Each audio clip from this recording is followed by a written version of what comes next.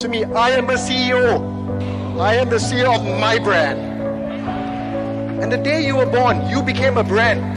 And everything you say or do, every single action, every single word, the way you communicate, the way you project yourself, determines your success.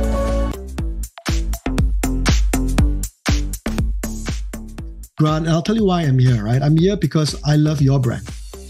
I, you. I when you when when we was we started chatting on LinkedIn, we, we connected.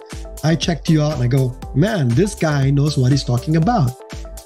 And that's why it's been an honor to be part of this podcast because um, number one, I love to connect with you because I think I think you're a star. Number two, it's you know for me, I want to give back, right? So this is this is moments like this where I meet with a fellow professional and we sit down and we talk and we provide value to the world